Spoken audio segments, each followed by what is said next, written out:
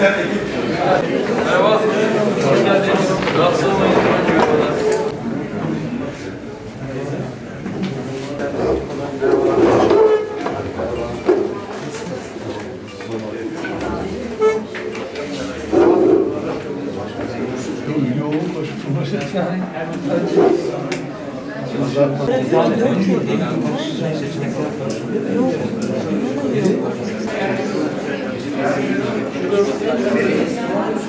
Bir parçası olarak yerel yönetim politikalarını belirlemek ve bu politi- politikaları hayata geçirecek işleyişleri kurmak bizim açımızdan önceliklidir. Bodrum kilimleridir bunlar. Bodrum'un geleceğini planlarken geçmişine de bir e, tabii ki e, küçük de olsa yolculuk yapmak gerekir. Sağ olsun Karaova Der e, özellikle ve e, Ticaret Odası İşbirliği ile yapılan bu sergiyi de yine ben gezmiştim. Arkadaşları kutluyorum. Çok önemli bir sergidir. Evet biz işte e, geçmişimizi koruyup, sahip çıkıp geleceği yaratacağız, planlayacağız. Bunun için buradayız bugün. Geldiğimiz günlere malumunuz bir hedef olamadı önünde. Bir fizik kentimiyiz. Ne olduğu çok net olamadı Bodrum'un.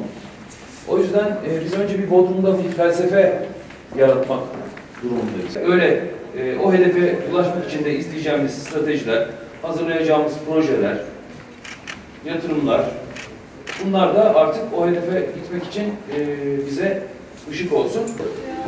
Yani Bodrum felsefesini belirleyip ona göre adım atalım diyorum. Biz şimdilik 2-3 aydır günübirlik sorunları çözmekle uğraşıyoruz ama inanın bu bizi bir yere götürmeyecek. Ortaya koyup ondan sonra yol yürümek. Sağ olsun arkadaşlarım bu konuda belediyemizde ciddi bir çalışma grubu da oluşturdular. Özellikle e, yönetiminde ve e, ortaya çok güzel sonuçlar çıkıyor. Daha e, bizden önce başlatılan bir çalışma vardı. Deniz Müzesi'nin logosuyla ilgili. Şimdi Deniz Müzesi'nin logosu 2-3 tane. İşte dedik ki biz o da anlattı tabii konuyu.